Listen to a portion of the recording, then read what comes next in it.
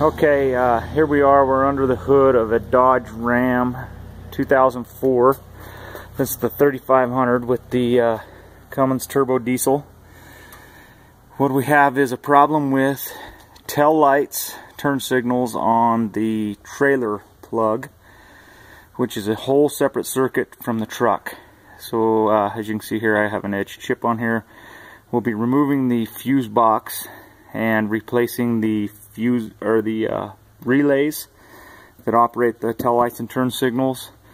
Uh, these are not replaceable according to the dealer. The whole fuse box needs to be replaced, but we're going to see if we can replace them today. First thing we're going to do is obviously disconnect the uh, battery terminals. Um, so we'll disconnect those. Okay, so what we've done is uh, taken obviously a half inch wrench, just loosened uh, both sides of the uh, battery terminals, the positive and the negative. I've taken a flathead screwdriver and kind of tapped it in here to separate the uh, terminals. We'll go ahead and remove those both. Um, we want to make sure that there is no power uh, as we're going to be removing the entire fuse box. So what we've done is we've moved those away. We get uh, to the end, we'll put some uh, dielectric grease on these, put them back in to help with uh, corrosion. Um, as you can see, I have this edge module that I need to move out of the way for us to do this. So I'm just going to kind of set this up here, tuck it in there. Um, what we're going to do is we're going to look down here and uh, there's uh, the battery, all the power for this connects right here and that you can kind of see. So we're going to disconnect that. But just so we got good access to see everything, we will uh, take this cover off. I apologize, this is my first uh, video I've ever done, but I couldn't find anything on the net for this. So I wanted to show it. Obviously this is the fuse box and all of the relays that are quote, quote, by the dealer changeable. The ones we need to get to are underneath this um, they say this is not designed to come apart. Um, it just needs to be replaced, but I believe we can get into a couple places here, uh, remove a little plastic, and get this separated to uh, replace these. So uh, we're going to start disconnecting a few things, and we'll see how this goes. So uh, what we've done is taking a ratchet 13 millimeter socket, we've placed it down in here and we've loosened this up. Uh, like I said, this is the main power connector um, for the fuse box. This will take that nut out, obviously. This will then pull off. We'll just kind of push it out of the way as well. That will get us to this main bus, uh, freeing it up, hopefully, to take this assembly out right here. And it will be able to lift off of this uh, stud that's sticking up if all goes well. So let's see how things turn out. Okay, so uh, the next step on this is going to be on the side here. There's going to be a bolt that you need to take out. Uh, half inch will fit it. Takes that bolt out right here.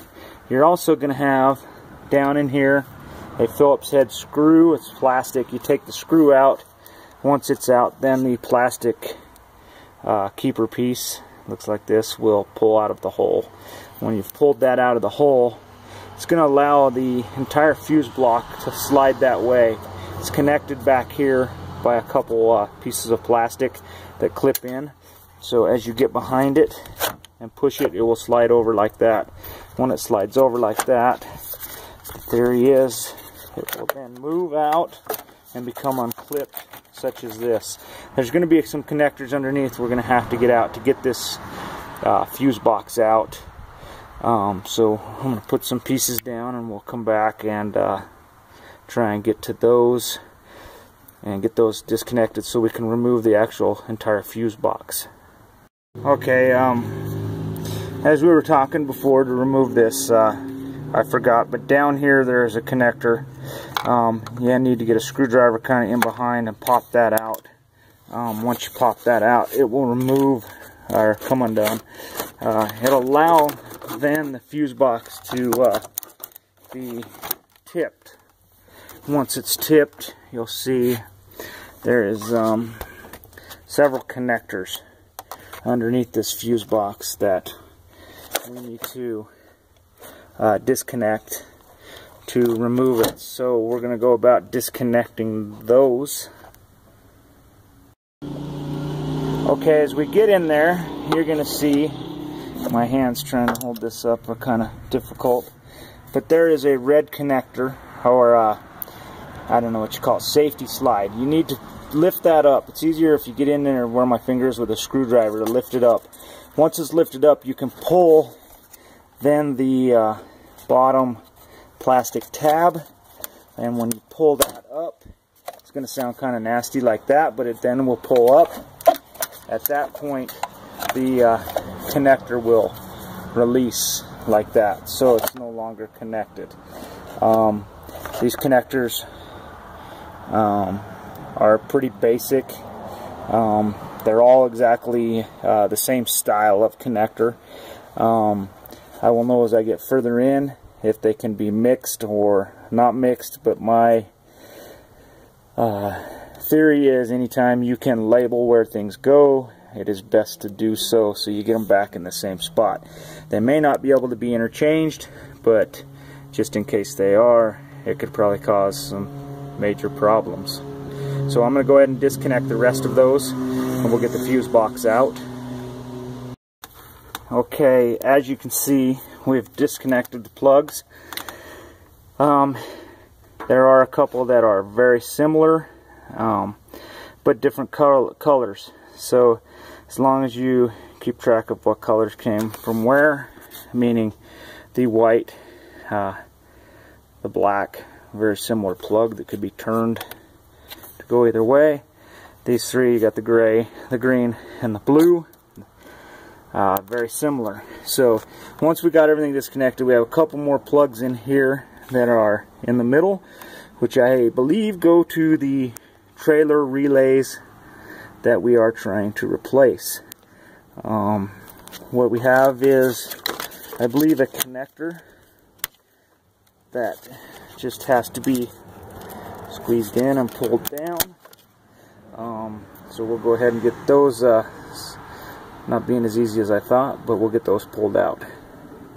Okay, so now we have the fuse box out inside on a bench.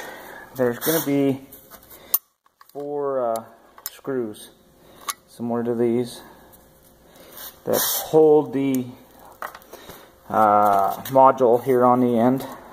Then this uh, will pull off. Okay, so we need to remove that. Uh, I do believe. and then in the top of the fuse box, there's going to be these little holes where there's rubber, or a plastic, I'm sorry, that's been melded to keep the uh, fuse box sealed closed. What we're going to do is we just put a flathead screwdriver down in there and we scrape the plastic off, hence giving us an opportunity to open this fuse box up. Okay, so once removing the plastic, uh, you've got the plastic removed from these holes. Then we kind of work around the edges. It is a little difficult, especially in the corner next to where the module plugs in. Um, that is kind of difficult to get out. There's some little tabs. You can kind of see the one right there. Um, once you've popped it up and out, this should come apart. I need another hand.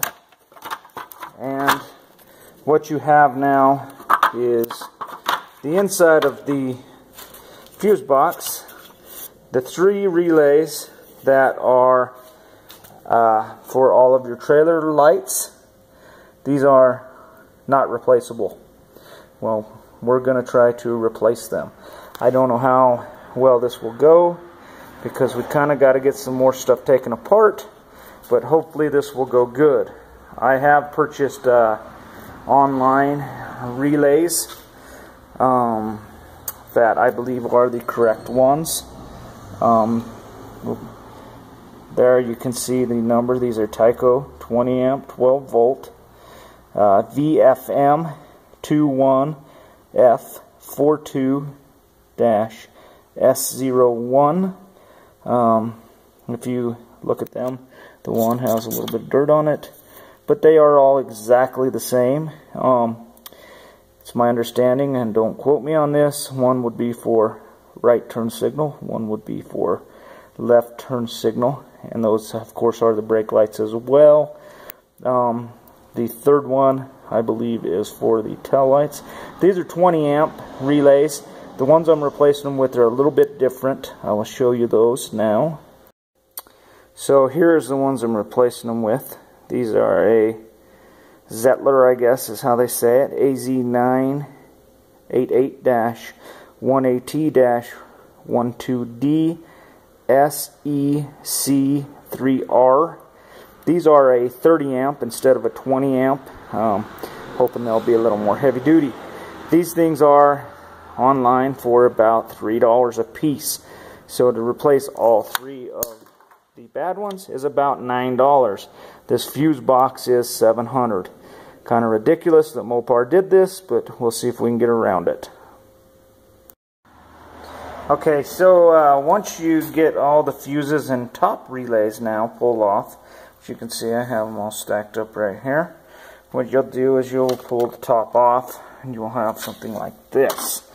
Um, this has several plates stacked together. You can kind of see that uh, divert power to different areas in the fuse box. We're not going to take that completely apart. We're going to try and just get enough space um, sorry, my finger's in the way, in this area here to get to the solder joints to get these three relays off. Okay, so ours did pull apart easy enough. Um, the plates came off, so I did separate it completely. Plus, I figured it'd be better to show you guys. So these are where our relays are soldered on. They're coated with a anti-corrosion protection, which is kind of like an epoxy basically that what we're going to do is we're going to take a razor knife here and we're going to scrape some of that off so that we can unsolder these. Now we do have a tool called a solder sucker so you push that in um, we're going to put that down there we're going to heat the solder up and when it's hot we're going to hit this button it's going to suck that solder up leaving that joint clean. You can pick these up at Radio Shack, uh, any electrical store really, not very expensive, about $12, something like that. Um, but that will be what you need to do this.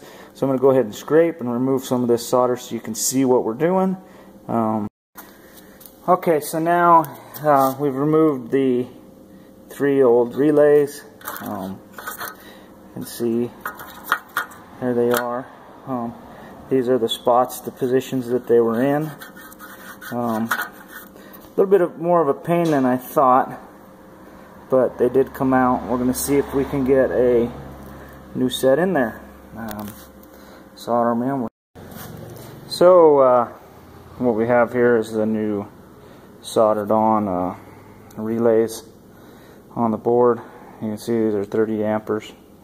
Um, they're soldered on. We're going to go ahead and put the fuse back, box back together the same way we took it apart and reinstall it. So what we've done is uh, slid all the um, plates back together on the circuit board, fuse board, whatever you want to call it.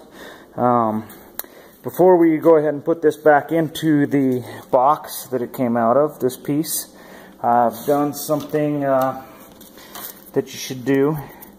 The plastic that we removed to get the box open was in three places.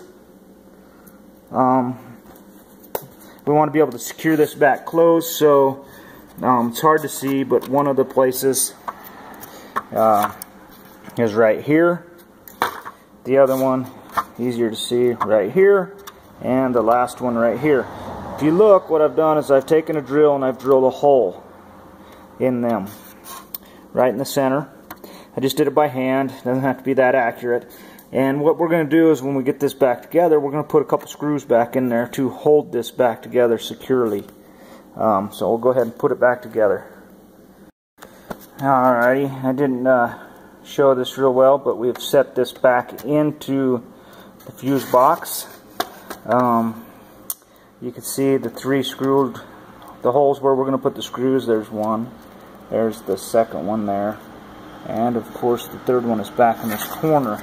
So we're in this position. These are what all your fuses clip into. What we're going to do now is we're going to go ahead and put the very top piece back on.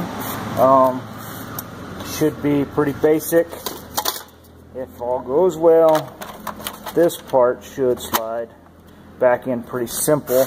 Um, the hard part is lining up all the pins that come through for the fuse and also this side, the way this side's got uh, some ports that it slides in.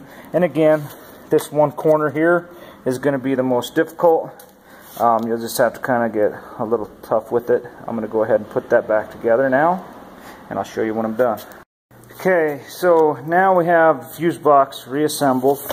Um, I've mounted the module back on the end of the fuse box with the four screws and then you can see down in that corner is a screw up here is my second screw and over there is the third screw that we put in place of the plastic that we broke out to get the box apart. I'm going to reinstall all the external relays and fuses and it should be ready to go back in the truck.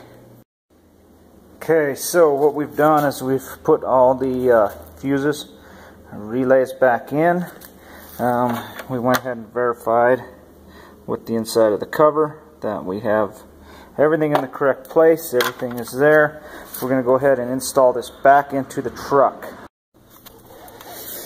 Okay, now uh, we're back in the truck, of course, and we have set the fuse box back in. We've uh, connected the connectors. And one thing I did notice that the bottom of the fuse box, uh, they have color coded with some, looks like chalk or something for which one of those connectors goes in which position.